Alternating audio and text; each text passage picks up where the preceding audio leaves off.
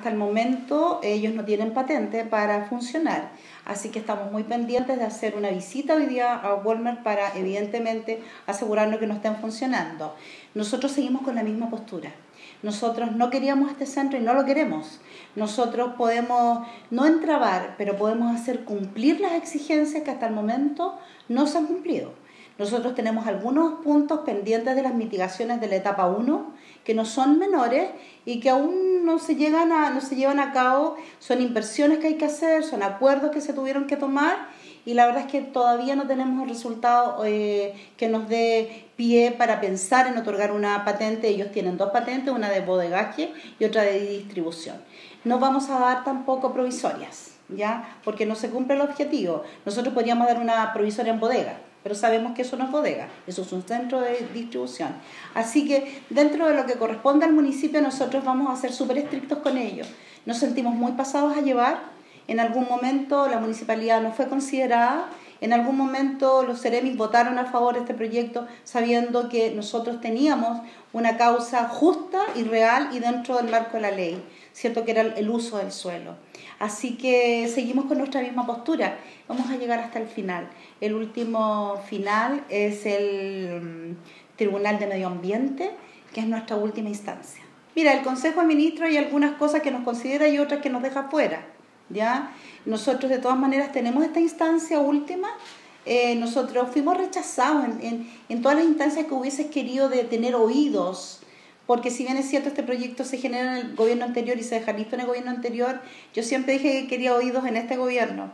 Eh, las cosas estaban hechas, hay alguna restricción que pusieron a todo lo que es la parte vial, digamos, la, la cantidad de camiones, pero nosotros sabemos que al final eso no se cumple. Así que vamos a seguir, vamos a seguir como comuna, entendiendo que queremos proyectos que respeten la ley, que respeten lo que la comunidad quiera, que respeten nuestros usos de suelo y que las mitigaciones puedan ser tan relevantes que la gente diga, bueno, una cosa por otra. En este caso no es así. Lo único que vamos a tener son externalidades bastante negativas y como te digo, esperando que cumplan con eh, todos estos, esta etapa que es la 1 y 2 sobre todo la 1 que todavía está en mediano avance. O sea que hayan invertido 15 millones de dólares, yo creo que hasta el momento no se ve nada, son todas cosas, hay, una ciclovía que está en ejecución tan recién, nosotros estamos discutiendo porque ellos quieren una cosa y nosotros exigimos otra.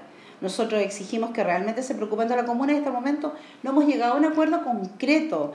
Eh, la comunidad eh, no está contenta, la comunidad más cercana, que es la que es más perjudicada. Yo creo que al resto de la comuna puede que no le, no le afecte tanto. A quienes nos afectan, quizás a las comunas aledañas, a Calera de Tango, a Buina, todo lo que transitamos por la autopista. Así que yo creo que a ellos les falta mucho. La inversión, mira, la inversión de repente, eh, interrumpir la vida comunal no tiene precio. Por supuesto que nosotros somos súper consecuentes, o sea, yo jamás habría aceptado esta invitación porque siento que a mí me pasaron a llevar como comuna, como alcaldesa, eh, nosotros no hemos tenido un diálogo grato, hemos, nos hemos sentado en mesas de trabajo que son por lobby, en este último periodo creo que hemos tenido, hemos tenido dos reuniones donde verdaderamente uno hace sus exigencias y pone las cartas sobre la mesa. Yo no voy a ceder nosotros pedimos cosas concretas y claras y espero que las cumplan. ¿Qué esperamos? Que ellos se terminen sus trabajos. Nosotros no vamos a entregar patentes, no es capricho. Es que de verdad las empresas, los empresarios, los gobiernos tienen que entender que los alcaldes sí tenemos derecho a querer una ciudad ordenada, una ciudad respetada. Y en ese sentido nos hemos hecho causa de querer eh, ser muy rectos con ellos. A lo mejor ellos sienten que hay una odiosidad. No es así. No era fácil llegar a San Bernardo sin que lo pasaran mal, porque nos pasaron a llevar.